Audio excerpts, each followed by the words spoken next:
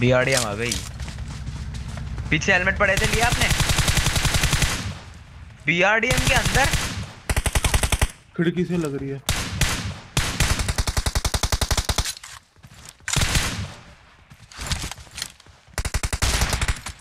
अब भाई वो दूर वाला